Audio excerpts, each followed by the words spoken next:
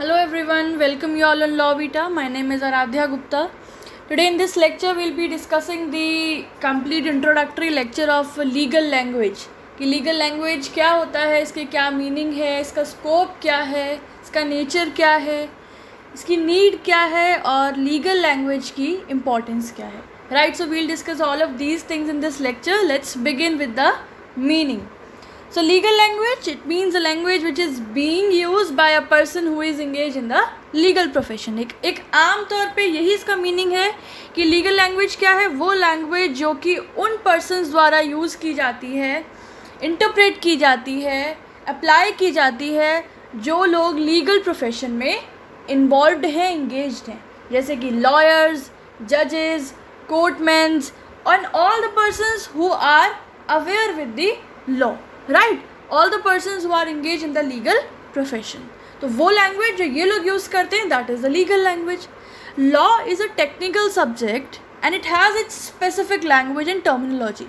the interpretation of law it is carried out by means of a specific language called the legal language तो law क्या है, हम सबको पता है, खुद में एक एक टेक्निकल सब्जेक्ट है. They are lot of branches they are lot of aspects of law और उस लॉ के अलग अलग एस्पेक्ट्स को इंटरप्रेट करने के लिए in the process of interpreting the law एक स्पेसिफिक लैंग्वेज का इस्तेमाल किया जाता है and that language is known as the legal language right the word the expression legal language merely doesn't mean a language. The use of adjective legal shows that the language is a specific language मतलब इसका मतलब ये नहीं कि एक normally जैसे कि Japanese हो गई संस्कृत हो गई, या असमीज़ हो गई, इस तरीके से एक मेयर लैंग्वेज है। No because the adjective legal is attached to it therefore it is somehow a specific language. And the specific language which is used to interpret the study of law. Right? It has been said that you'll be learning a new language when you study law. But actually it's a bit a more complicated language. And being a law student we all are aware about it. देखो, ये बोलते हैं कि legal language बड़ी specific language एक नई language है। आप नई लैंग्वेज सीखोगे when you read the aspects of the legal language but you know when a novice novice मतलब वो व्यक्ति जो कि शुरुआत कर रहा है लॉ के फ़ील्ड में और who studying the law for the first time तो उसको ये लैंग्वेज टफ लगेगी कॉम्प्लिकेट लगेगी। अगर आप हमारे बैरक देखें तो उसमें भी जो एक लैंग्वेज होती है, वो कोशिश लेजिस्लेचर करता है कि एक ले मैन भी पढ़ सके, पर बहुत सारी टर्मिनोलॉजीज ऐसी होती हैं जो कि वही पर्सन पढ़ सकता है और इंटरप्रेट कर सकता है who is aware with the law right और who is already engage in the law profession so it is not a easy language it is a complicated language and we do agree with this particular point legal language means a language which is use by person who connected to legal profession ये हमने पढ़ लिया जैसे कि language use by lawyers jurist legal draftsman in their professional capacities तो lawyers द्वारा jurist द्वारा legislative draughtsman द्वारा जो भी यू you नो know, वो लोग अपने प्रोफेशनल कंडक्ट में प्रोफेशनल कैपेसिटी में जो लैंग्वेज यूज़ करते हैं that is known as the legal language The vocabulary which is used in the legal doc uh, documents is extensively drawn from the Old English, the Norman French and Latin तो mainly जो अगर हम origin की बात करें तो ये माना जाता है कि जो लीगल लैंग्वेज की जो वोकेबलरी है जो टर्मिनोलॉजीज़ हैं जो एक्सप्रेशंस हैं वो ओल्ड इंग्लिश नॉर्मन फ्रेंच और लैटिन लैंग्वेज से डिराइव किया गया है। This is because the Latin was a language of administration and law in England ये माना जाता है कि इंग्लैंड uh, के अंदर जब इंग्लैंड uh, में जो भी एडमिनिस्ट्रेशन सिस्टम था जो भी लीगल सिस्टम था उसमें लैटिन जो है वो प्राइमरी लैंग्वेज थी। तो कहीं ना कहीं that is all that is somehow considered as one of the source of the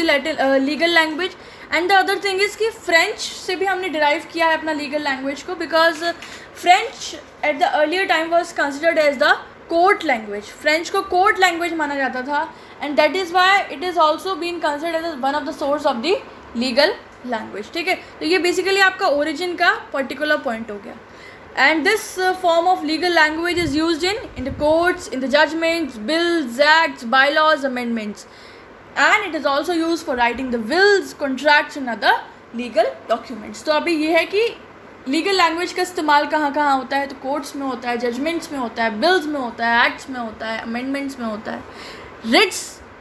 में होता है कॉन्ट्रैक्ट्स में होता है विल्स राइटिंग में होता है बाकी जितने भी लीगल डॉक्यूमेंट्स होते हैं उन सभी में ही लीगल लैंग्वेज का इस्तेमाल किया जाता है। राइट right, तो हमको समझ में आ गया लीगल लैंग्वेज क्या है मीनिंग क्या है इसका। राइट right, कहाँ इस्तेमाल होती है what is the particular purpose और ऑब्जेक्टिव और utilization of this language and from where it has been originated अब इसके स्कोप के बारे में बात करें the scope of legal language so the scope and the extent of legal language is very much wide ये माना जाता है कि इसका स्कोप काफ़ी वाइड है, काफ़ी बड़ा है. There is a general conception regarding the legal language that a common man can not understand the legal language it is a technical subject generally ये माना जाता है, एक एक ऐसा मिसकंसेप्शन है एक general I wouldn't say misconception rather say एक जनरल कंसेप्शन है आम आदमी के बीच में, हम सब के बीच में, कि लीगल लैंग्वेज जो है एक आम आदमी नहीं समझ सकता है। कॉमन प्रूडेंस का जो पर्सन है कॉमन मैन है, वो नहीं समझ सकता है। बिकॉज़ कहीं ना कहीं उसमें टेक्निकल वर्ड्स हैं, वो technical subject that is law उससे रिलेटेड है। इसलिए वही लोग उसको इंटरप्रेट कर सकते हैं who are already engage in them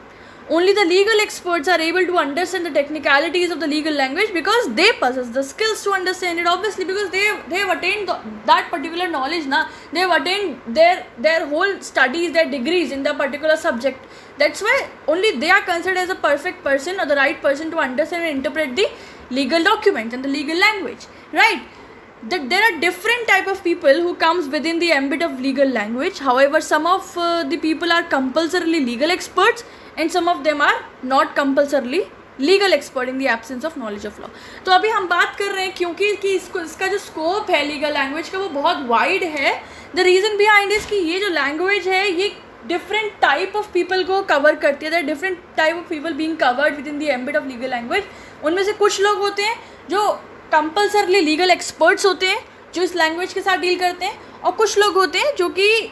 compulsorily ज़रूरी नहीं है कि वो लीगल एक्सपर्ट्स हो या उनके पास लॉ नॉलेज लीगल नॉलेज हो। Right so in the modern society they are basically two categories of person those who are affected by law and those who deals with law तो basically हम legal language के ambit में दो तरह की category of people को cover करते हैं। एक वो लोग वो लोग को, आपको कोर्ट प्रेमाइसिस में मिलेंगे, वो लोग के पास लीगल डॉक्यूमेंट्स होंगे, जो लोग लॉ से अफेक्टेड हैं, किसी ना किसी वजह से अफेक्टेड हैं and therefore they have brought the case within the within the courts, right? And the second thing is those who deals with the law. All the legal experts, the jurists the lawyers, the attorneys, the judges तो वो दूसरी category of people वो हो गए जो law के साथ deal करते हैं. And they are those are the legal experts तो अब इसमें हम लोग कैटेगरीज कैसे कैसे, जैसे कि ऑर्डिनरी सिटीजन होता है है ना? ऑर्डिनरी सिटीजन होते हैं तो they are not compulsory legal expert law makers होते हैं they are compulsory legal experts sorry law makers are also not compulsory legal expert क्योंकि लॉ मेकर में आपका एम पीज आ गए एम एल एज आ गए और ज़रूरी नहीं है कि वो uh, जो है लीगल एक्सपर्ट्स हो ही हो। ठीक है इसमें कोई यहाँ पे मैंडेटरी क्वालिफिकेशन uh, का यहाँ पे कोई uh, वो नहीं है आपका कंपल्सरी कि आप यू मस्ट बी आप यू नो अ ग्रेजुएट और you must have been you know attend your entire education in law. So therefore lawmakers are not compulsorily the legal experts. Third is the judges. So judges भी इस legal language के ambit में आते हैं. They are compulsorily the legal expert. And the fourth category is, is the legal advisors, the lawyers, the attorneys and they are compulsorily the legal experts तो ये हो गया हमारा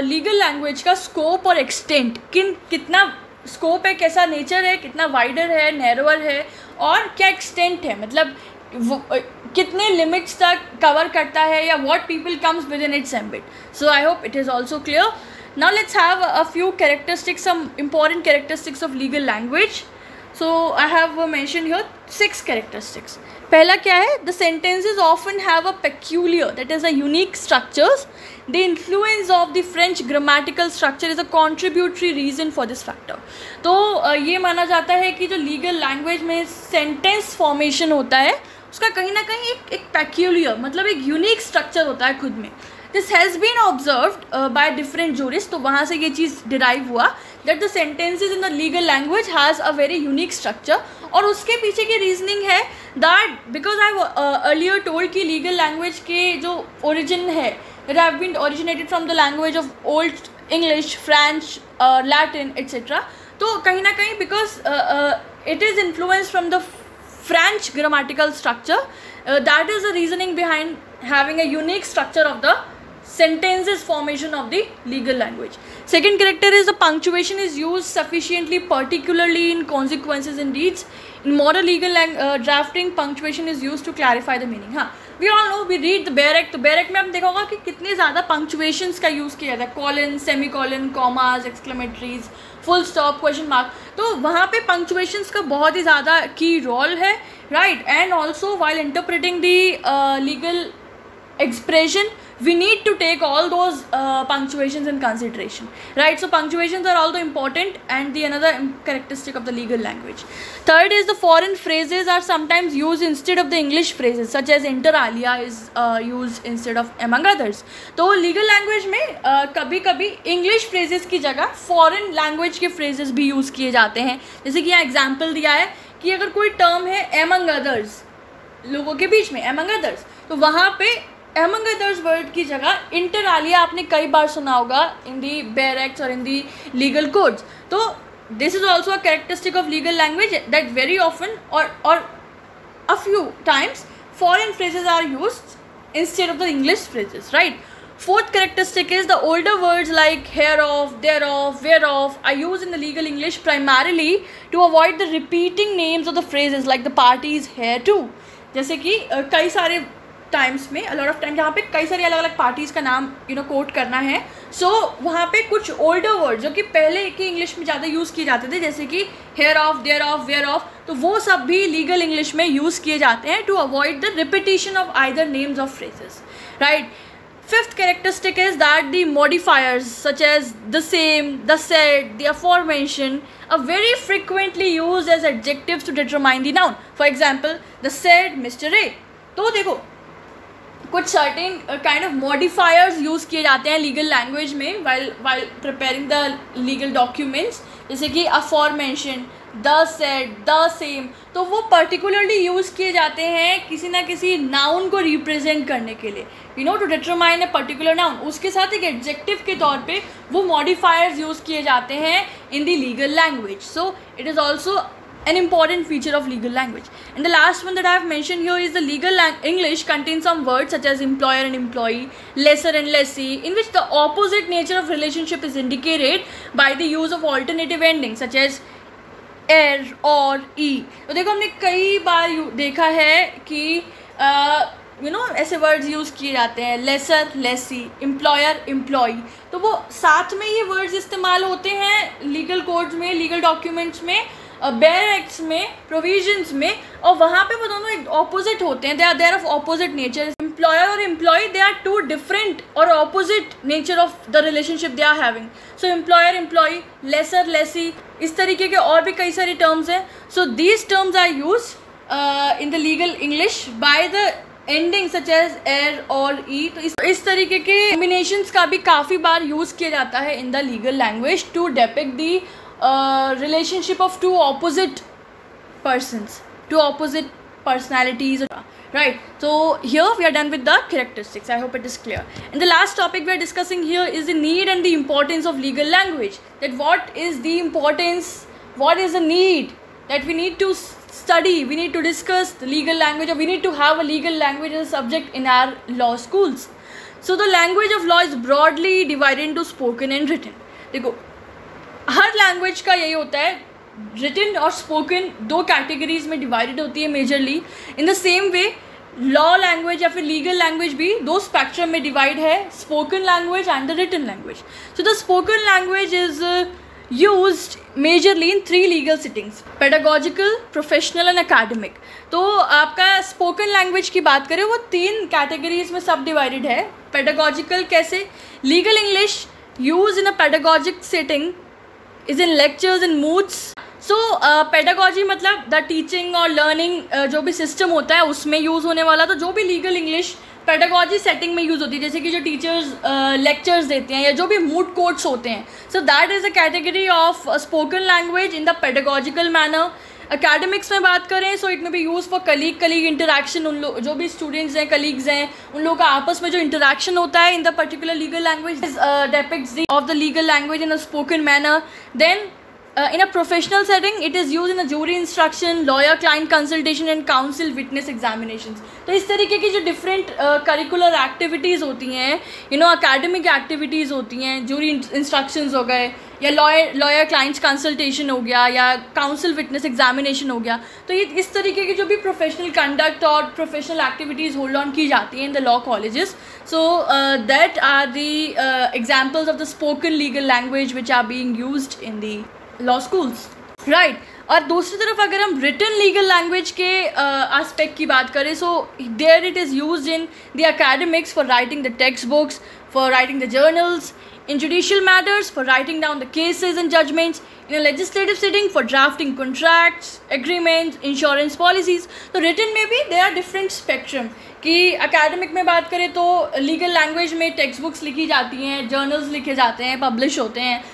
जुडिशियली जुडिशियल मैटर्स में बात करें तो जो भी केसेस हैं जजमेंट्स हैं they are written down in the legal language in terms of legislative setting तो जो भी लीगल डॉक्यूमेंट्स ड्राफ्ट होते हैं कॉन्ट्रैक्ट हो गया एग्रीमेंट हो गया तो वो सारे भी लीगल लैंग्वेज में लिखे जाते हैं. Right so by discussing all this particular two division of speaking legal language and written legal language we gets to know that how much important it is for all the people who are engaged in either the legal studies or in the profession related to law right hence it is a paramount importance for law students to have a grasp on the legal language so by knowing all of this importance कि कहाँ कहाँ utilization होता है कहाँ कहाँ need होती है legal language की it is very important कि uh, law schools में law universities में और law students के ऊपर एक extra uh, you know emphasization किया जाए regarding the learning process of the legal language The subject of legal language in Indian school, law school especially needs urgent attention not only for studying law but also for practicing law in future. तो एक एक extra attention देने की and specially urgent attention देने की is very much needed because the competition is rising everywhere that's why सिर्फ़ law पढ़ने के परस्पेक्टिव से ही it is not important to to get into the legal language but to make them realize that how much important this legal language is for their for their further profession in the law right? For all their practicing law in future. Therefore the legal language has a very important role uh, among all the people in either the law students or the law professions. They should be encouraged to participate. They here are the students or the law students. They should be encouraged to participate in moot court competition present their papers in seminars, participate in Model United Nations, publish their research paper in UGC approved journals and also participate in the debate competition. And in this way, the students can discover the applicability of their legal English language. So यहाँ बोल रहे हैं कि students को because we got we just got to know by the above uh, point कि there is a lot importance of legal language इसीलिए students को encourage करना चाहिए कि वो इस तरीके की academic activities में participate करें because सिर्फ reading बैरेक्स पढ़ने से से सिर्फ़ टेक्स्ट बुक्स पढ़ने से ही रियलाइजेशन और एक्चुअल यू नो जो एप्लीकेबिलिटी है लीगल लैंग्वेज की वो नहीं पता चलेगी जब तक हम इस तरीके की एक्टिविटीज़ में अपने आप को इन्वॉल्व नहीं करते हैं। लाइक मूड कोर्ट्स हो गया रिसर्च पेपर्स हो गए, और आपके सेमिनार्स हो गए डिबेट्स हो गए। So the student needs to be encourage to participate in all these activities because they are actually those which discovers the real applicability of the legal language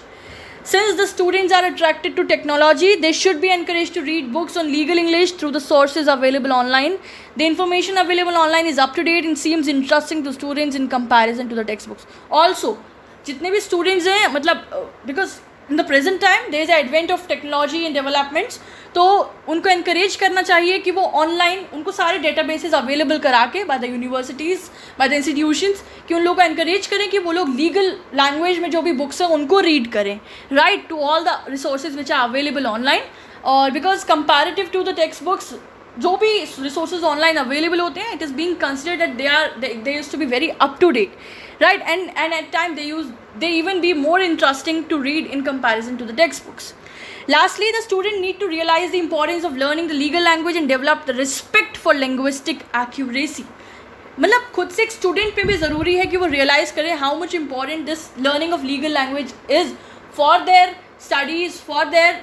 build up of a you know bright and accurate future in the legal field since the meaning of word holds so much importance in lawyers' careers, students should focus on using them precisely. Learning the legal language will help the students to communicate effectively and efficiently. Right? So we, through this, all the points we get to know how much important and what is the you know entire value or the need of legal language. Right? so i hope it is uh, clear to all of you and uh, this makes a perfect answer if uh, this subject is there in your exam as well that what is legal language what is the scope and extent what are the characteristics and what is the need importance of legal language. For any doubt do let me know in the comment section and do also let me know how did you find this particular lecture. Till then take care have a good day and and and for the notes pdf of any of the subject of law vita you can either contact on our instagram page or on our email id